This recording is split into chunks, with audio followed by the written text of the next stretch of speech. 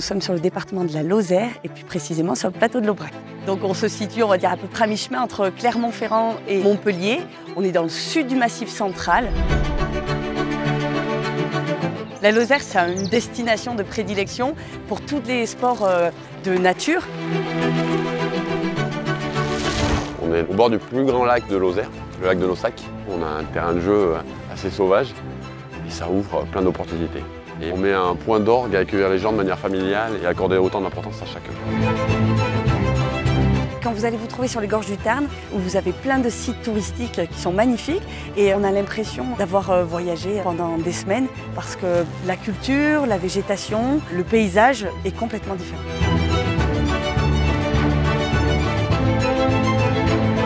J'ai choisi de rester ici bah, parce que c'est vraiment un lieu qui a du tempérament. Une super diversité de paysages, diversité de sentiers, de technicité. Pas beaucoup de monde, de l'air frais, de l'air pur, euh, vraiment le régal. Il faut aimer l'espace, la liberté et c'est ce dont j'avais plus besoin.